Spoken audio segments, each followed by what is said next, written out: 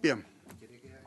Muy buenas tardes. Vamos a sesionar en calidad de comité mientras se van incorporando.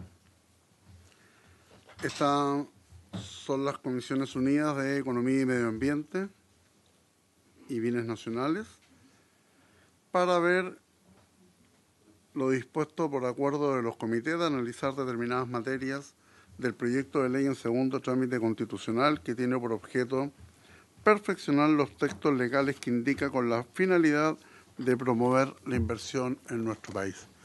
Queremos saludar al señor ministro de Economía, Fomento y Reconstrucción, don Lucas Palacios, a quienes le ofrezco la palabra para que en esta primera oportunidad pueda saludar a la Comisión de Economía. Muchas gracias, presidente. Saludo a senadores, senadoras, todos los, asesores. Estoy acompañándome con José Luis Uriarte, asesor estrella del Ministerio de Economía, y también con la, Jimena eh, Contreras, con Diego Scherer y también con la Daniela Pradel. Scherer, sí. Así que, eh, y respecto de los temas que se van a plantear hoy, presidente, eh, habían cuatro temas importantes. Estaba eh, un tema de la DGA, estaba lo de la caducidad, la pertinencia y los tres megas. Y nosotros hemos tomado la decisión, o yo he tomado la decisión, de excluir lo de la DGA, retirar esa, esa indicación, en el entendido que, que, que genera, genera distintas posiciones eh, para poder priorizar la tramitación de las otras tres, las cuales hemos hecho una, una redacción que incorpora elementos que han planteado distintos senadores y senadoras, para ver si podemos avanzar con esas. Pero respecto de la, de, la DGA, que era poder tercerizar esos servicios, eh, la hemos retirado. Muy bien, pues, ¿quién haría la presentación del, de las otras tres? Presidente, la presentación la, la va a hacer José Luis Uriarte. Entonces le ofrezco la palabra a don José Luis para escucharlo muy atentamente. Muchas gracias, presidente. Eh, dejando de lado la, indicación que eh, permitía la tercerización de, algunos servicios de la, DGA, nos queda referirnos a tres eh, artículos en particular que son el mandato que dio la sala a esta comisión unida. La primera dice relación con eh, las centrales o plantas eh, generadoras.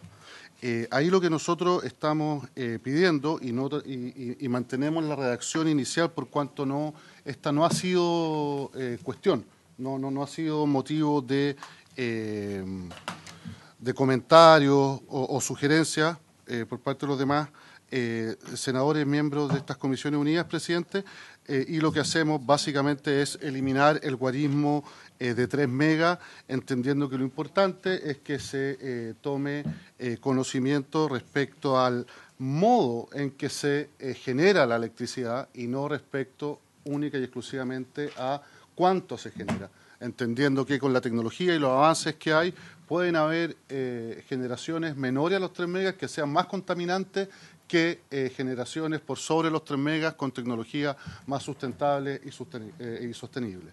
¿ah? Eh, esa indicación también contó con la aprobación de los senadores en la Comisión eh, de Economía, por lo tanto creemos que no hay eh, cuestión respecto de ella.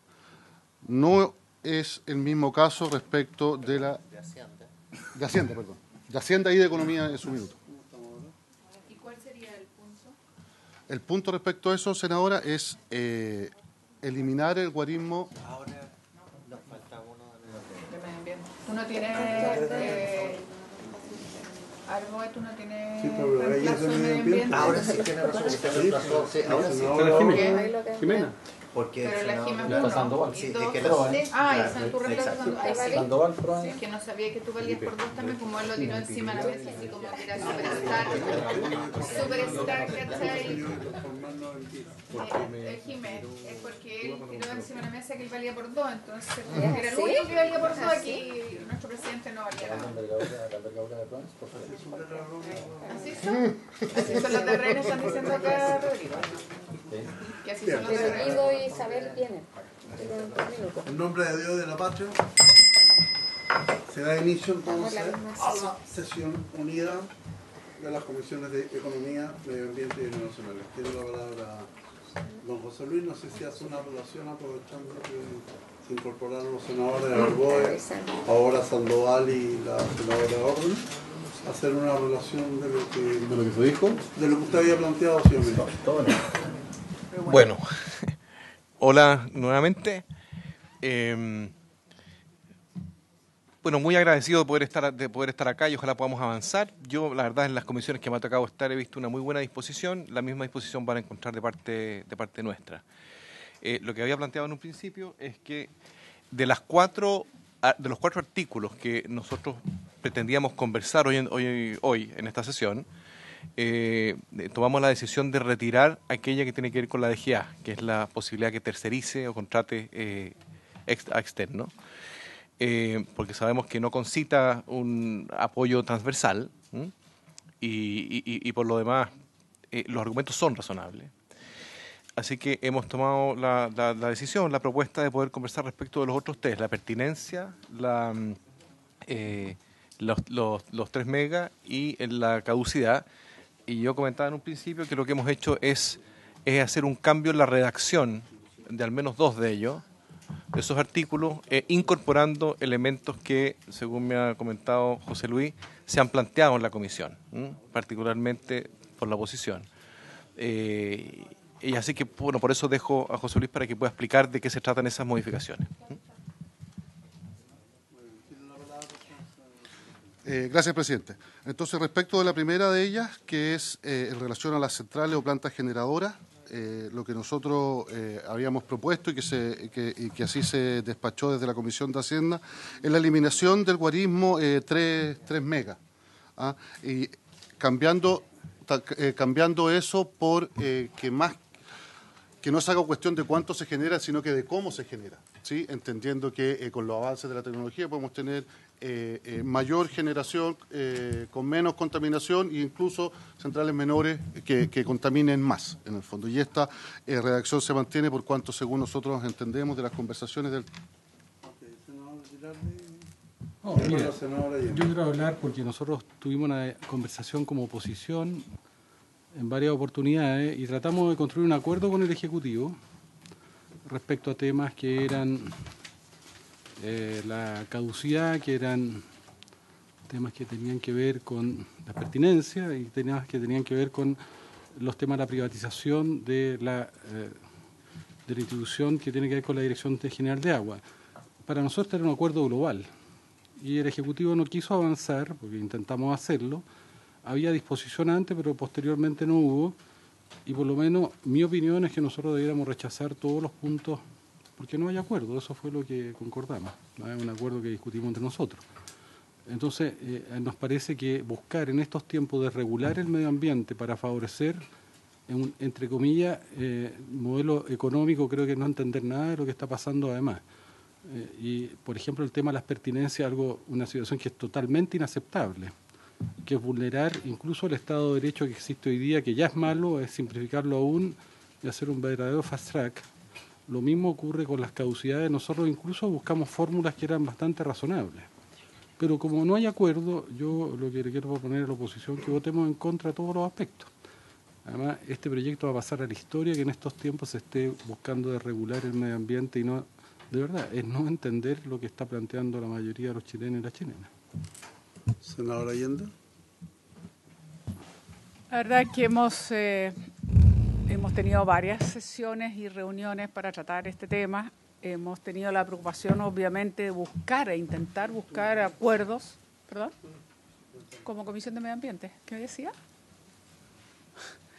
Como Comisión de Medio Ambiente, tratando de llegar a acuerdos y ver lo razonable, aquello que uno puede entender, que a lo mejor hay ciertos aspectos que uno pudiera decir cómo se puede facilitar ciertas inversiones, pero tiene que tener una condición preclara básica no puede ser a costa de reducir los estándares medioambientales. Nosotros tenemos una deuda, ustedes lo saben perfectamente bien, como país, todavía tenemos una, institucionalidad frágil, tenemos las zonas de sacrificio, tenemos múltiples carencias, falencias, y creo que la peor imagen que podemos hacer es tratar de de cualquier manera intentar rebajar de alguna manera los estándares. Entonces, lo vimos punto por punto, uno por uno, desde las pertinencias, eh, la DGA, la consultoría externa, el algoritmo de los 3 megabytes, eh, megawatts, qué sé yo, son los cuatro o cinco puntos que los vimos todos. Y la verdad es que por lo menos hay tres de ellos en los cuales uno realmente no podría, no podría estar de acuerdo. No podría estar de acuerdo porque definitivamente sí, lamentablemente, hace eso, rebaja los estándares ambientales no deja en cierta manera a, la comunidad en mayor indefensión, con menos información, con menos participación en algunos casos. Eh, caso, por ejemplo, la pertinencia, eh, que se termina transformando además en un, incluso en tal conflicto entre dos instituciones como el Servicio de Evaluación Ambiental y, lo que sería la Superintendencia Medioambiental, etcétera, etcétera. Entonces, yo no sé si, digamos, queda todavía un espacio de conversación o esto Simplemente a la hora de decir, bueno, uno por uno se va a votar a favor, se va a votar en contra, no lo sé. Si existiese un espacio todavía donde uno pudiera encontrar, a lo menos en un par de casos, reacciones alternativas que satisfacieran las inquietudes que nosotros podemos tener, que yo creo que es legítimo tenerlas, sería, sería positivo, digamos. Pero si no, en algunos casos por lo menos me queda claro que no voy a dar mi voto a favor porque simplemente creo que está rebajando el estándar ambiental. Bueno, es importante plantear que el señor ministro, al comenzar la sesión, eh, planteó la opinión del ministerio, la opinión de él, las modificaciones que ha presentado al proyecto, en términos que eliminó lo de la Dirección General de Agua, y también quería presentar la reacción de los otros tres aspectos en materia de pertinencia, 3 mega y, y caducidad. El señor ministro me ha pedido la palabra y después el senador Sandoval. Bueno, muy, muy cortito, es simplemente eh, subrayar lo que acaba de plantear eh, el presidente. Eh, mi disposición es que podamos avanzar y podamos conversar todos los aspectos que son buenos para, el país. Yo soy un férreo defensor de la naturaleza y el medio ambiente. Las quienes me conocen lo podrán, podrán ratificarlo. Y, en los cuatro artículos que se iban a discutir hoy, desconozco la historia previa. Esto, eh, yo tomé la decisión de retirar de la tabla la de la DGA, ¿ah? porque me parece que habían argumentos suficientes, en su momento lo conversamos con el senador Arboe, que lo justificaban. Y, hemos hecho una redacción de los otros tres elementos, eh, incorporando elementos que planteó en particular, en este caso la oposición, para ver si podemos avanzar en alguno de ellos, si es que existe disposición de los senadores y senadoras esa es la, esa es la disposición con que yo vengo a esta mesa, digamos. ¿ah? Gracias, ministro. Senador Sandoval, después la senadora Rincón y la senadora Orden. Sí, gracias, presidente. Eh, bueno, este proyecto hace harto tiempo que viene tramitándose. Eh, no me queda claro qué es lo que plantea el senador Guido Girardi. Eh, él está señalando que aquí hay un acuerdo sectorial de la oposición, eso es lo que señala él, por votar en contra. Por tal motivo, presidente, no tendría sentido si esa disposición es así de categórica, no tendría sentido seguir con la tramitación porque sabemos cómo está conformada la votación en esta comisión mixta. Eh, lo segundo, eh, Entiendo también que aquí hay algunas señales desde el punto de vista de correcciones del proyecto, como los evaluadores externos respecto a la EGA, que desaparecen, ¿verdad?, en, el, en el proyecto señalado. Desaparece la limitación de la cantidad de megas, ¿verdad?, sujetos a, este proceso, eh, optándose por un camino que me parece razonable, más que la magnitud de la, de la, de la central es la, la contaminación que genera, y eso me parece también atendible. Y lo otro, no solamente hay materias de orden ambiental, sino que también, eh, incluso hasta la misma pertinencia que se ha hecho tanto alarde en estas circunstancias. Eh, me parece razonable y legítimo que cualquier particular quiera requerir, ¿no cierto?, a la autoridad pertinente su proyecto, corresponde o no, ¿no es cierto?, que entre a ese proceso de evaluación. No está limitándolo. Es una, es una consulta respecto del requerimiento de ese sector. Y lo otro, hay varias materias adicionales que tiene que ver con agilización de procedimientos administrativos, eh, algunos eh, de digitalizaciones de, otros, eh, que, me da impresión que no tienen que ver con el tema. Por eso, el señor senador Girardi, por su intermedio, siempre anda con estas expresiones así media totalitaria, ¿no es cierto? Estamos todos en contra, por eso me gustaría que lo aclarara si una decisión del sector, porque si una decisión del sector, presidente, mejor que te, aclara la resolución del punto de vista de la, de la resolución de la votación. Me gustaría que se me lo aclarara o es solamente una expresión exclusivamente de su posición, presidente. Muchas gracias. Rincón. Presidente, yo quería eh, sugerir una moción de orden, eh, que pudiéramos terminar de escuchar al Ejecutivo y después que nos diera unos minutos para conversar los senadores de oposición. Senadora Órdenes. Es que yo voy a exponer mi, mi, opinión después de escuchar al ministro. Me parece que la moción de orden que plantea la senadora Rincón es correcta y, y opinamos. Muy bien. José Luis, entonces, tiene la palabra. Gracias, señor presidente. Eh, retomo señalando, entonces, continúo entonces respecto eh, del artículo que habla del, umbral de los 3 megas, en cuanto a nuestra propuesta, eh, señala que hoy día el criterio de ingreso, de acuerdo al CIA, es la capacidad de generación, estableciendo los 3 megas como el límite hacia arriba o hacia abajo para que deban o no deban eh, ingresar al sistema y no los impactos que pueda producir el proyecto. Nosotros creemos que, eh, dado el avance que hay en la generación eléctrica, pueden existir perfectamente eh, sistemas de generación o proyectos de generación que sin importar el umbral porque son precisamente con avances tecnológicos, con, generación eh, sustentable, eh, independiente de cuánto vayan eh, a producir, no sea necesario ese umbral, sino que el criterio con el cual se determine, se determine si es que es necesario que entre o que no entre, no sea un número determinado, en este caso los 3 megas, sino que sea el impacto ambiental que produce entendiendo que pueden haber incluso mecanismos de generación de menos de 3 megas que dañen el medio ambiente y por lo tanto deberían entrar efectivamente a evaluación ambiental. Entonces lo que nosotros eh, se propuso en la Comisión eh, de Hacienda y que fue lo que salió aprobado eh, desde ahí es que las centrales es que se determinen las centrales o plantas generadoras de energía eléctrica según sus magnitudes, las cuales se determinarán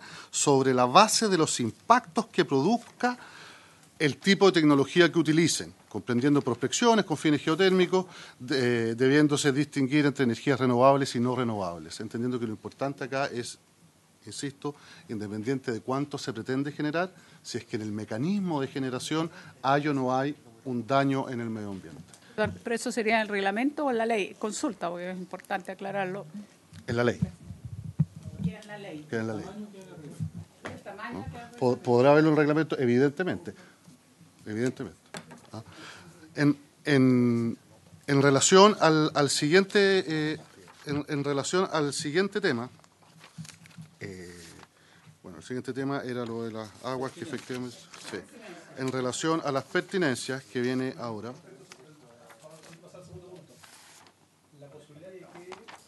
El guarismo en el reglamento tiene que ver con por favor, Perdón. La posibilidad de que el guarismo en el reglamento tiene que ver con la posibilidad de que eventualmente una modificación tecnológica pueda significar que eh, haya que cambiarlo y se cambia el reglamento y no se cambia la ley. Correcto. Porque si no, de lo contrario, eh, por su intermedio, señor presidente, tendríamos que eh, limitarnos a que pase por todo el proceso legislativo, en el fondo. ¿no? especificaría esto que está señalando, o sea, el, impacto real que puede tener u otras condiciones que efectivamente ameriten para poder decir sí o no. Efectivamente. en relación a, a las pertinencias, Em, la, mayor crítica o la mayor observación eh, o, la mayor preocupación respecto a esta eh, eh, indicación dice relación con que estaríamos o se estaría pretendiendo obviar la, la institucionalidad ambiental dejando fuera, en el caso que se le dé carácter legal a la declaración de pertinencia o no, dejando fuera la, labor fiscalizadora de la Superintendencia de Medio Ambiente.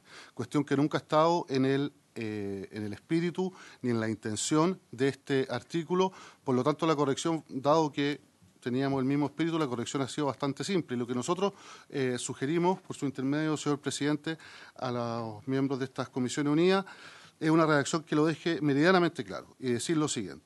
Del procedimiento a que se refiere el inciso anterior, que es decir, el de la pertinencia eh, o no, será vinculante para efectos del seguimiento y sanción ambiental, sin perjuicio de los recursos administrativos y judiciales que proceden y de, las, y de las facultades fiscalizadoras de la Superintendencia de Medio Ambiente de conformidad a la ley.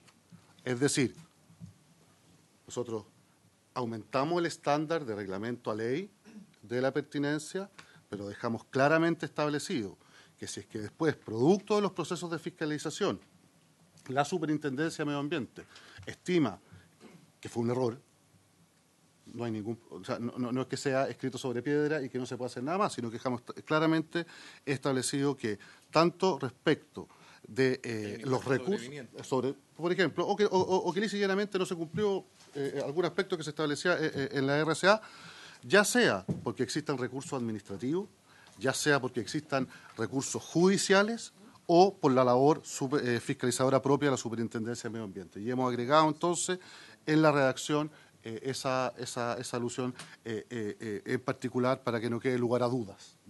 ¿ah? esa ha sido gran parte de la discusión que hemos tenido. Yo, no puede existir la palabra vinculante, porque le da un estatus a una pertinencia que en la práctica yo les podría relatar que gran parte de los conflictos ambientales que hemos tenido, que considero yo por lo menos que la, el Servicio de Evaluación de Impacto Ambiental es una institución totalmente vulnerable y el SEA, el que justamente concede la pertinencia. Caso Dominga, por ejemplo, o caso eh, eh, el proyecto de, de, en este hace este año de, de una fundición ilegal en, eh, en, en, la región de O'Higgins y así numerosos proyectos que Marchigüe, ¿no es cierto? Y numerosos proyectos que finalmente termina dando el SEA que son absolutamente ajenos a la legalidad y yo creo que ahí hay temas incluso de corrupción como lo hay en la región de O'Higgins, eh, a mí no me parece que esa decisión, que es totalmente unilateral, sea vinculante. ¿ah? Y por lo tanto, tiene que quedar como es hoy día. Hoy día eh, el, el, SEA puede establecer una pertinencia, pero eso no opta de que la eh, estoy hablando de la superintendencia, no estoy hablando de otra institución pueda eventualmente eh, cuestionar esa resolución. Entonces, a mí, me parece que poner esto que sea vinculante, lo único que puede hacer es cuando hay situaciones irregulares, legitimar la irregularidad, legitimar situaciones que son totalmente inaceptables, que por lo demás que han sido revertidas en la Corte Suprema en muchos de estos casos y que han establecido la ilegalidad de los proyectos. Entonces, yo no veo para qué tiene que ser vinculante, dejémoslo como es hoy día. De hecho, les quiero decir que las veces que en este gobierno, lo anterior, la superintendencia ha ido a reclamar de una pertinencia son escasísimas. Entonces, esto lo único que hace es que cuando hayan situaciones que sean cuestionables por parte del SEA, elevar el estándar de la, de, la irregularidad. O sea, establecer como una cierta legitimación de ese proceso que... Y, y quiero decir que para muchos de nosotros la actuación del SEA en estos últimos años en todos los gobiernos ha sido deplorable y que no, no nos da ninguna confianza, menos para que establecer que sus decisiones puedan ser vinculantes. Gracias, presidente. Sobre la pertinencia, yo tengo más o menos las mismas eh, observaciones, porque el objetivo de proinversión yo creo que hay que transparentar, yo lo dije en la sesión anterior, estamos hablando de 50 proyectos. No estamos hablando de los miles que pasan por el sistema de evaluación de impacto ambiental. Entonces yo esperaría que, que un desafío que tenemos en común.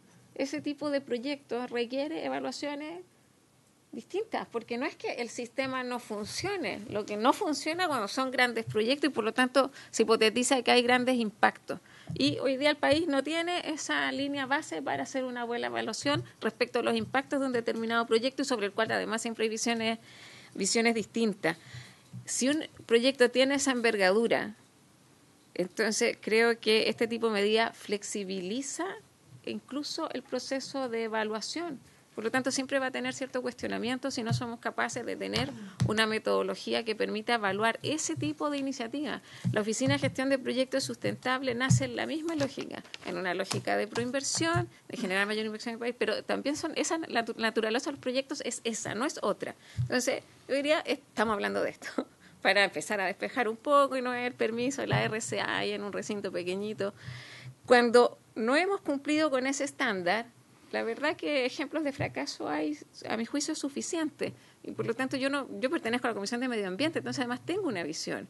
No, no, no voy a colocar en riesgo eso, no tiene que ver con entrabar procesos, pero creo que lo, yo, estoy, yo tengo el convencimiento que sí lo flexibiliza. No se pronuncia en otro servicio, no hay participación ciudadana, el carácter vinculante también, entonces al final a mí me parece que hay una suerte de bypass al sistema de evaluación de impacto ambiental.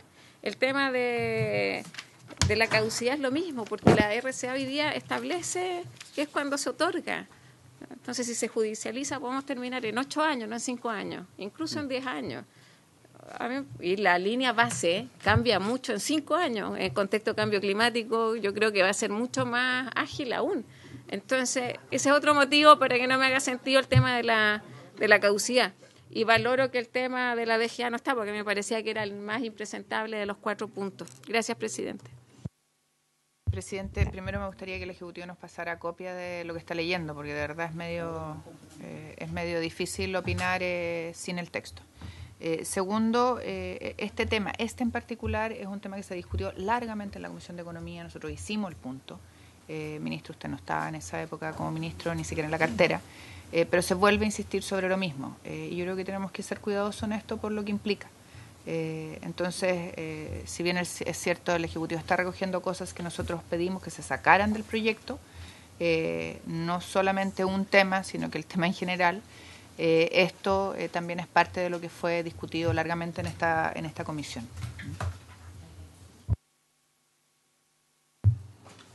Sí, gracias, presidente.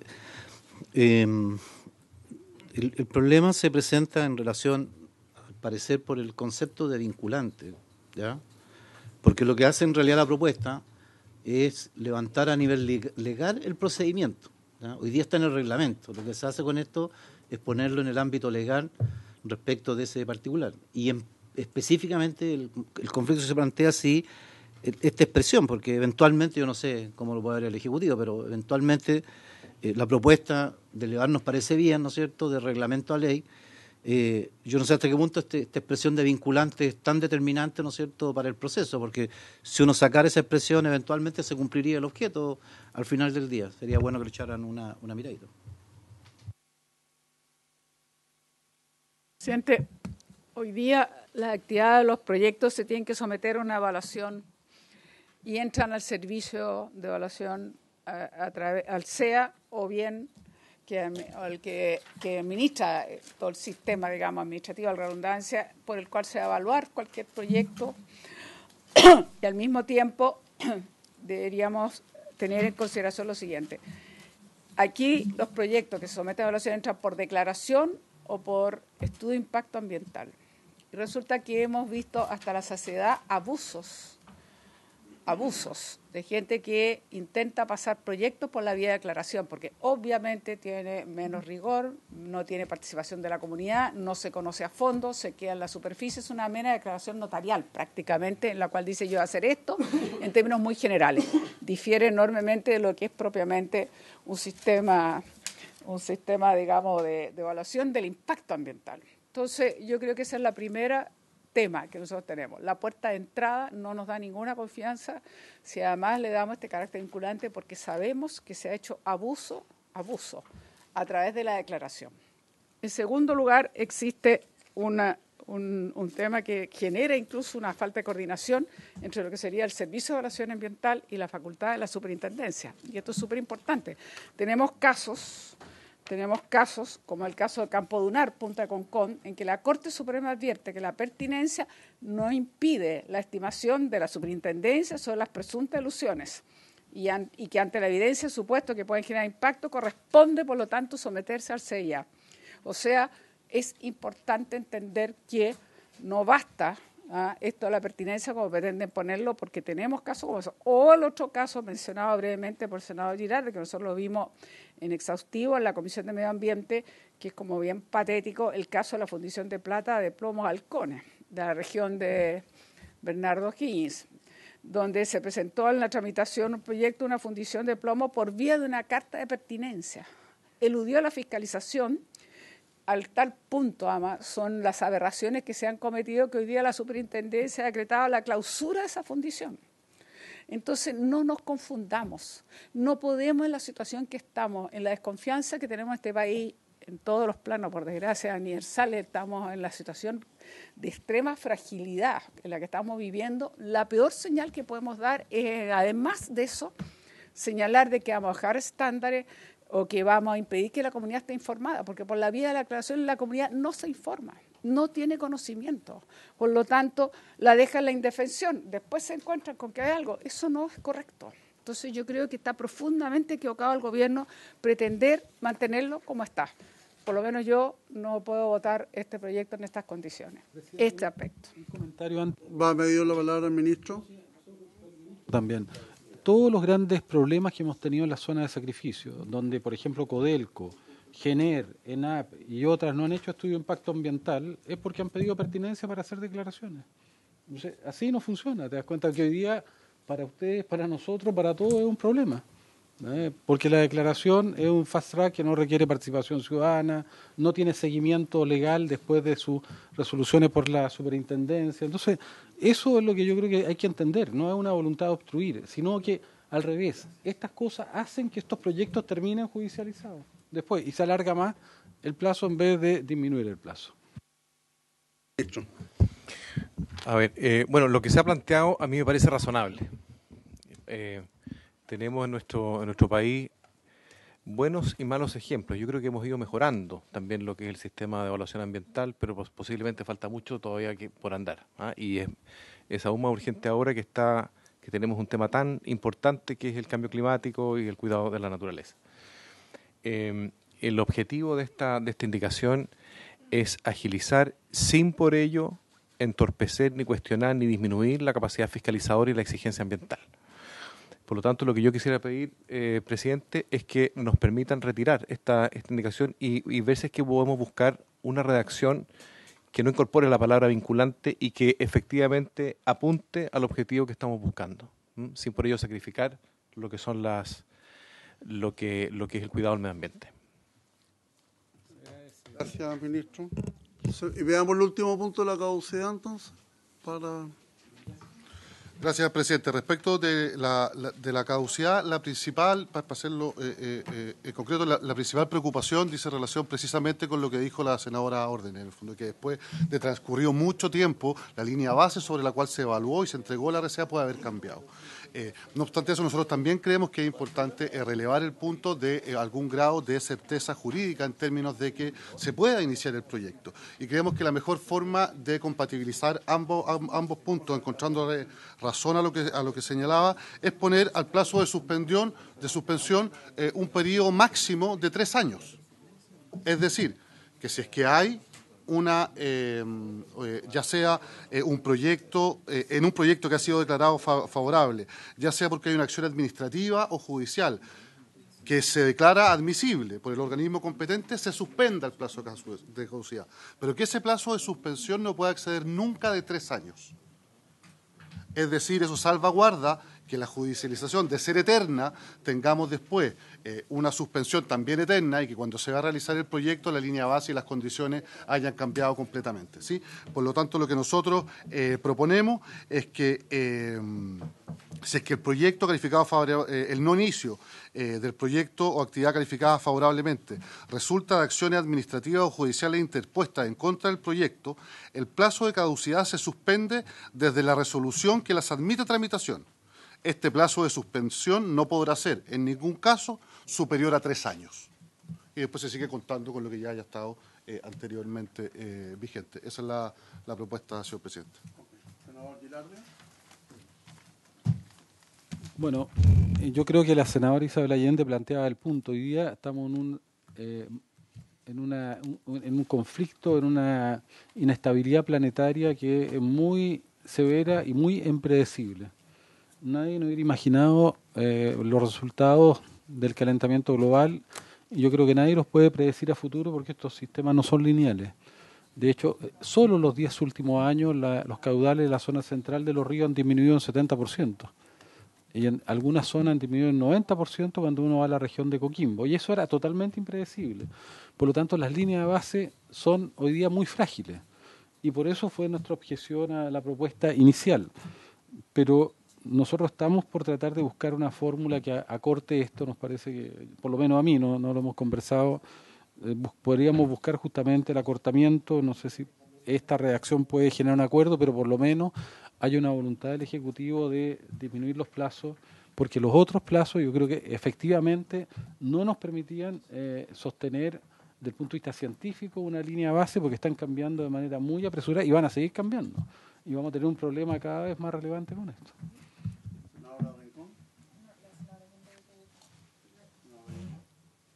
Bueno, en esa línea me parece bien que el Ejecutivo sí se abre, pero no es solo suficiente. Yo creo que es importante perdón, que el Servicio de Evaluación Ambiental también, ya sea, eh, digamos, de oficio o a petición, pueda revisar justamente estas líneas de base y ver si es pertinente la resolución de calificación ambiental. Porque tres años pudo haber cambiado. Entonces, es muy importante que el Servicio de Evaluación Ambiental también, ya sea, como dije, de oficio o a petición, pueda revisar una resolución de calificación ambiental, porque puede darse que efectivamente ya no cumple los estándares tres años después, porque tres años parece decir, bueno, hay un grado de flexibilidad, de acuerdo, pero sabe que no sabemos si efectivamente tiene o no sentido eso. Entonces, es muy importante que nosotros tenemos que siempre preservar que el Servicio de Evaluación Ambiental a lo menos pueda revisar esa resolución de calificación ambiental y nos pueda decir si cumple o no con las bases que supone que lo sustentaban. Gracias, presidente.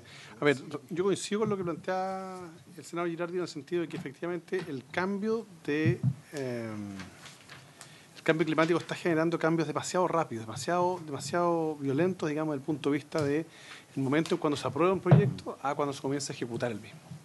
Pero no comparto la idea de que eh, esto quede al arbitrio de un servicio público. ¿Por qué? Porque aquí hay que equilibrar dos cosas. Lo primero es que efectivamente el plazo debe ser lo suficientemente corto para garantizar que entre su aprobación y su inicio de obra no haya un cambio fundamental de las circunstancias. Pero dejarle a un servicio público la posibilidad de cambiar eso genera inestabilidad completa. O sea, ¿qué, persona va a hacer una inversión si sabe que de una u otra forma el servicio le puede cambiar cualquier minuto? Muchas de estas resoluciones son los elementos que se exigen al momento, por ejemplo, de financiar un proyecto de inversión consecuencia, cuando la persona va con su proyecto de inversión, estoy, pensando en un pequeño propietario de un predio chico, digamos, en, el norte o en el sur de Chile, y que llega y dice, mire, ¿sabe qué? Quiero pedir un crédito para hacer un pequeño, un pequeño proyecto y decir, ya, acompáñame un conjunto de resoluciones. Una de esas que le piden es esta. Si, la, si discrecionalmente la autoridad pudiese hacer un cambio, ese documento no tendría ningún valor y por lo tanto no aportaría al proceso de financiamiento de ese proyecto. Yo sí coincido que hay que acotar el plazo, pero hay que hacer certeza jurídica, de lo contrario no tiene sentido, digamos, que se pida este papel, digamos, para efecto de poder financiar un proyecto. creo que ese equilibrio es súper precario, pero hay que tratar de lograrlo. No va a ser tan pequeño si, si se tiene que someter a su resolución de calificación ambiental.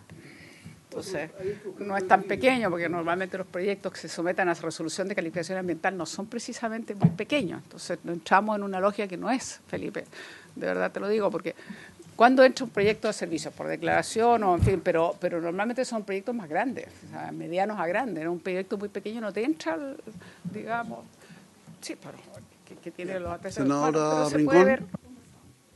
Eh, presidente, yo no sé si hay algún otro tema que agregar por parte del Ejecutivo. Eh, si no lo hubiera, y como han manifestado la disposición a revisar es una de las indicaciones que traían eh, y otra la retiraron, eh, a mí me gustaría que pudiéramos terminar la sesión y pudiéramos conversar nosotros como senadores de oposición sobre este tema, si le parece a la comisión. Ok, ejecutivo, ¿estamos ok? Entonces, bien. Ministro. Soy partidario del diálogo, así que bien que conversen.